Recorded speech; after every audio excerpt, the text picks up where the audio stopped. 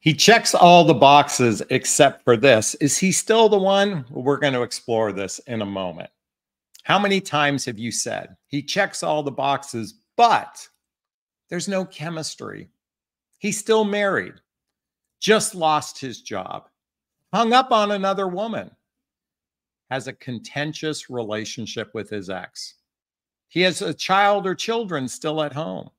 He's not, he says he's not ready for a serious relationship. He love bombed me. I make more money than him. He has no retirement plan.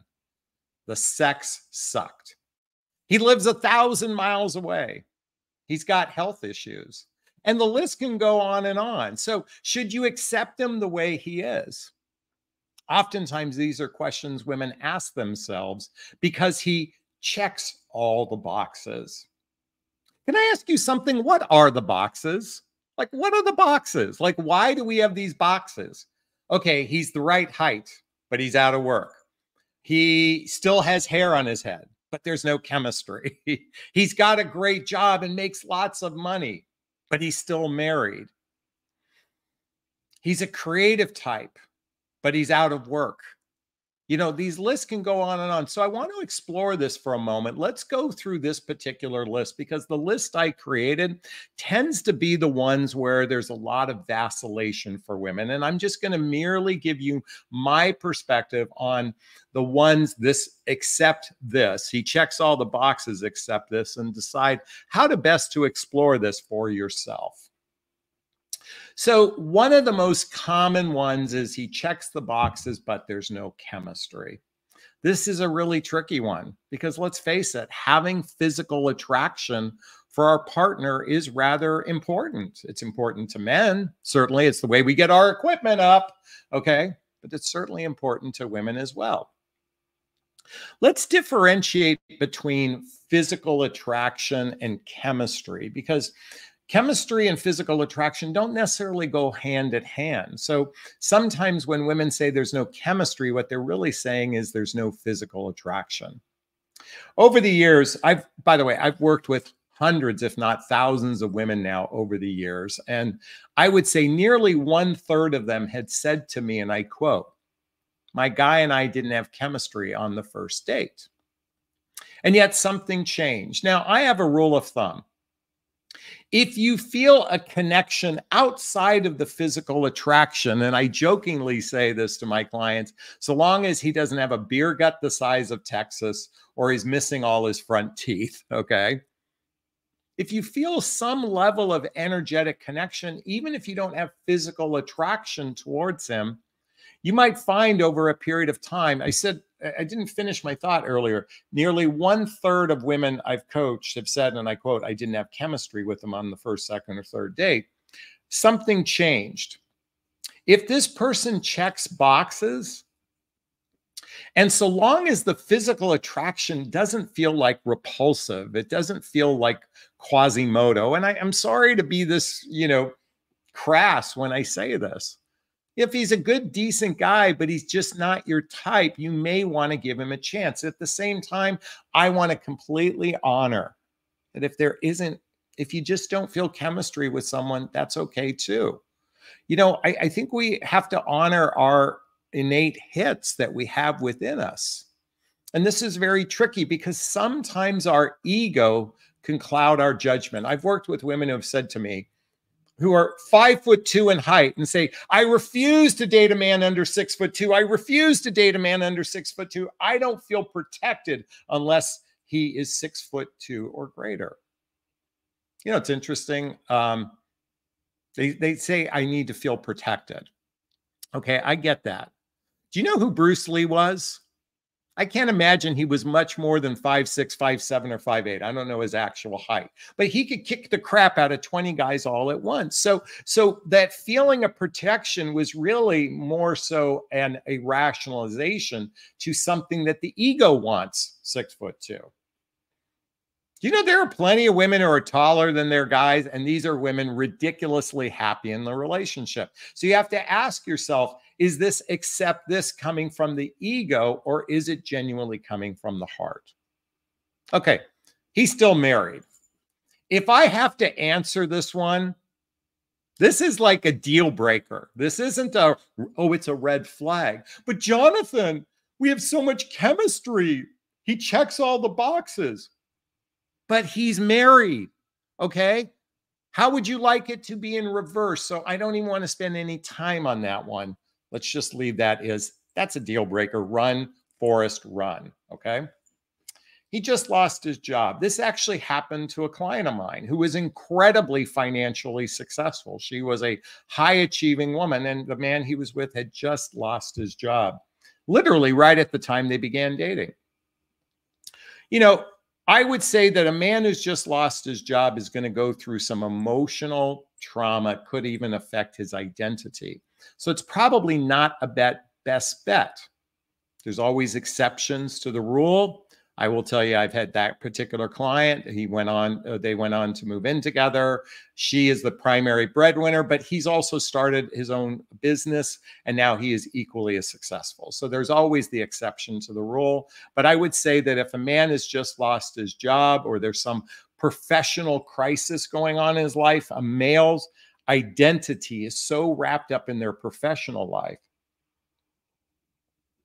that you may want to really revisit that then.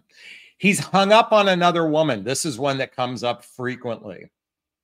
Hey, if someone is still hung up on another woman, but Jonathon, he checks all the boxes. You know, if someone who has walls up, someone who's in who's still hung up on another person, somebody who hasn't healed. I'm putting this all in that same category for a moment. It's going to be difficult for them to actually open your their heart up to you it's going to be rather difficult to open your heart up to you, their heart up to you. And particularly if they are, I've observed men, you know, when they love someone and they love them deeply, whether it's emotionally healthy love or it's contentious love, it's very rare that they, unless they've done some deep healing in their in that processing, are they ready to open themselves up for someone new? This is why someone just ended a marriage or has just ended, just gone through a breakup with someone. It's very there. There needs to be some time to heal. I, I've always said for every three months that the relationship, you know, has been going on, you need almost one month of healing for every three months of the relationship. In addition, now, if it's a 10 year relationship, it's not three months, but I would say a good one to two years of healing after that. By the way, I want you to think of a relationship as a tapestry, and unraveling that tapestry requires some individual healing. And if he's still even communicating with that woman, oh my God, that could be very problematic if it's incessant communication versus the occasional, hey, uh, I wish you Merry Christmas or Happy Birthday. Okay. Jonathon, he checks all the boxes, but he's got a contentious ex. This is a tricky one. This isn't an absolute deal breaker. This is one of those, you know, it, it will bleed into your relationship. And it depends on how emotionally healthy, how emotionally mature this person is. If you haven't seen my chart on emotional maturity and relationship skills, not a fact, it's merely opinion. About 20% of the population has clinical issues. And if they have a contentious ex, it's going to be rather problematic. And while I say 20% of the population is emotionally healthy, I'm being rather generous. Most everyone is dysfunctional. So, if an emotionally healthy man has a contentious ex, I would say your relationship has a fighting chance. If he is dysfunctional or clinical in his weak, um, weak emotional maturity or weak relationship skills, then I'm going to say that a contentious ex will be rather problematic. Okay. Next one, he has a child at home. For many of us, who are baby boomers or Gen Xers. Many of us are empty nesters, and we ideally like to find an empty nester as well. We did all the heavy lifting, you know, prior to this point in our lives. You know, our children, ideally, we'd like to have them launch so we can, if we're single in midlife, we can begin anew with someone else. And yet, some people are still raising children. I've heard this from women many times. Well, and the tricky part is sometimes men use their They use their children as a crutch. Oh, by the way, women do it too. So they use their will, women, uh, excuse me, the men will use their child, particularly if it's a daughter, as a crutch, or worse. His daughter, especially if it's a daughter, oftentimes becomes the emotional support person in his life. This can be rare, very tricky. I'm not saying this is an absolute, but this can be very tricky. Uh, if you haven't done some research on emotional incest um, or covert incest, Okay. I highly recommend Googling that. Okay. What happens? This happens to women with their sons, and this happens to men with their daughters, where that child becomes their primary emotional support person. And it's rather unhealthy. Now, I'm not saying this happens all the time. This happens, it certainly happens enough where they've written articles on it. But you have to be mindful of that. Or do they use their child as an excuse to keep a buffer between you and them because they always have? And by the way, you're a very sympathetic person. Children always come first. But if you're beginning a a, a relationship with someone, you have every every right to ask for being treated as important as everything else important in their life, especially ladies, if you're having physical intimacy with someone. You have every right to ask for that. Now, the next one is a really tricky one. Is he says, I'm not ready for a serious relationship. Okay, this is really tricky because a lot of people in midlife are afraid. They're afraid of making another mistake. They're afraid of getting too close to someone. Some are incapable of actually being close to another human being. So it's understandable that there could be this reservation. Now, most dating coaches will tell you if a man says he's not ser- ready for a serious relationship, that should be a deal breaker. I certainly believe it's a red flag. Now, red flag simply means asking deeper questions because they might say it cavalierly in the sense that they just don't want you to get attached to them too quickly. That might be a reason. I went to a wedding last year with a man who said, I'm not looking for a serious relationship. And he ended up getting married after dating for a couple, they've been together for three years. So there's always exception to this rule. This is a tricky one. So you have to get into the real, you have to get granular. Why aren't you ready for a serious relationship? Because it just simply might mean he's like, look, I don't want to give you false hope with me. I don't know if I like you yet. So I'm going to say I'm not ready for a serious relationship with you. Or is it that they definitively don't want to get remarried? They don't want to live with somebody. Okay. So I would say when someone says, I'm not ready for a serious relationship, that to me, uh, you know, is a red flag. It means asking deeper questions. Um, and then you, by the way, you then simply share, I want a significant relationship. I want a significant relationship. I want to get remarried. An honorable man who knows he doesn't want those two things will cut you loose. I think most men can be virtuous, you know, an honorable man. A dishonorable man, a user or a spender, will take advantage of you. This is where you have to be a bit of your own detective. By the way, there's a link below to schedule a discovery call with me to see if working with a coach is right for you. My area of expertise is all based on discernment getting more granular, being more inquisitive in the early stages, just like we're doing in this video. So you don't find yourself getting attached to somebody who isn't capable of a relationship. Okay, the next one, he love bombed me. Okay, this is a tricky Jonathon. He checks all the boxes, but he love bombed me. okay, this is tricky because I've love bombed women and I think I'm a pretty good guy. So Love bombing. Okay, so you have to really get to the granular intent of the love bombing. Was he just trying to get in your pants or was he just overly excited? Just remember that lust and limerence, limerence is extreme infatuation, is oftentimes chemically driven. Okay. Should it be a deal breaker? I think, you know, there's an old saying men are the gas, women are the brakes. Okay. This is the one where I would slow the pace and then see how genuine. And again, if you're not asking those deeper questions earlier on, then you're going to be setting yourself up for failure. I make more money than him. Okay, this is one where, okay, first off, I don't consider that a deal breaker. It might be a red flag. I certainly think that two incomes are better than one. I certainly think you may want to get a sense of his past relationships. If he has a propensity of choosing women with money and then using them, then try to do your due diligence. But I don't think that should be a deal breaker in and of itself. But Jonathon, you know, he might get intimidated by me. You know, I'm tired of this intimidation. You know, an insecure man is an insecure man. You haven't done anything to in, make him insecure.